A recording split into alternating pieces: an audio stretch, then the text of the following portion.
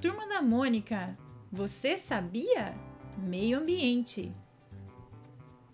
No dia 5 de junho é comemorado o Dia Mundial do Meio Ambiente. Mas o que é ambiente? Bem, é só olhar à nossa volta. Tudo que nos cerca forma o meio ambiente e é indispensável para a nossa sobrevivência.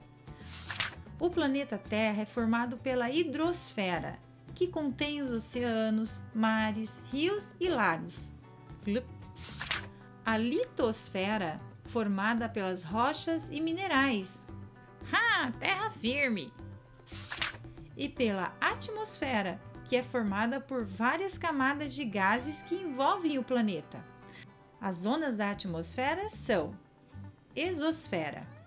Fica a 600 quilômetros da Terra. O ar é muito rarefeito e só dá para chegar até aqui de foguete. Ionosfera é a zona onde meteoritos que entram na nossa atmosfera são destruídos. Mesosfera contém uma camada de pó que vem da destruição dos meteoritos. Estratosfera fica a 50 km de altura. É aqui que fica a camada de ozônio. A camada de ozônio fica na estratosfera. Pois ela é um fino escudo que protege todos os seres vivos dos raios ultravioletas do Sol. Aham! Se esses raios atingirem a superfície da Terra, podem causar problemas ao homem e ao meio ambiente. Ops! Como câncer de pele e outras doenças. Plaqueu esplanadaplo para tampar um buraco na camada de ozônio. Podem afetar a agricultura e a colheita.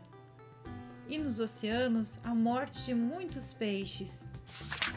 Se não existisse mais a camada de ozônio, a radiação ultravioleta do Sol acabava com a vida na Terra. Mas a destruição da camada de ozônio se deve principalmente à emissão de poluentes no ar. Haja esparadrapo! O principal inimigo da camada de ozônio é o CFC. Corinthians Futebol Clube!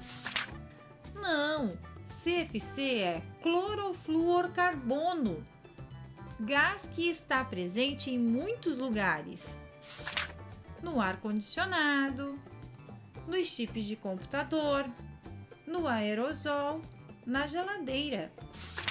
Além disso, o nosso meio ambiente sofre com a poluição do ar. Essa poluição contém gases tóxicos e mistura-se com as nuvens, produzindo a chuva ácida. Além de provocar a morte dos peixes e contaminar a agricultura, a chuva ácida está danificando vários monumentos históricos em todo o mundo. Outro grande problema que o nosso meio ambiente enfrenta é o efeito estufa. Que calor! Nem fale!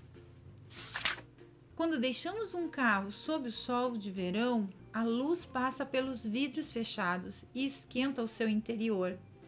Os vidros não deixam o calor escapar e a temperatura dentro do carro aumenta. Que calor! Que fedor! Na nossa atmosfera, quem faz o papel dos vidros dos carros são o gás carbônico, CO2, e o gás metano.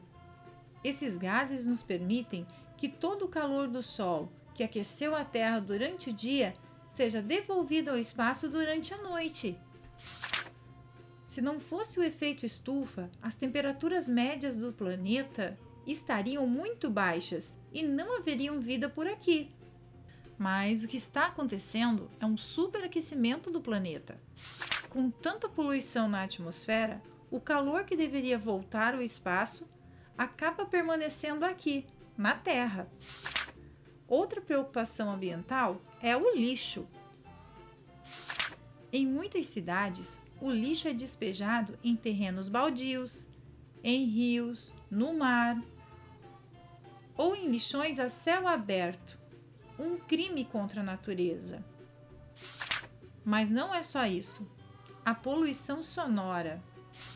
e a poluição visual também preocupam. O desmatamento é um dos maiores problemas ambientais. Destrói o solo, mata plantas e animais. Além de mudar o clima, mesmo que a floresta destruída esteja longe da sua casa. Tudo está interligado na natureza. Uma ação do homem na cidade vai ter influência no campo e vice-versa. Uai, acabou a água! Por isso, é hora de cuidar melhor do nosso planeta. Quem gostou, bate palma. Beijo da Tia Van. Se você gostou, dê um like nesse vídeo, se inscreva no canal e ative o sininho. Beijo!